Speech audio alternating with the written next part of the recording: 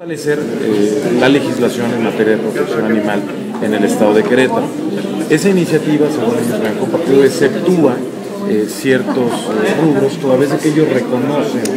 que en el asunto de la protección animal se segmenta la protección y se plantea una gradualidad. Yo mi comentario aquí lo dejaría en el sentido de que el proceso legislativo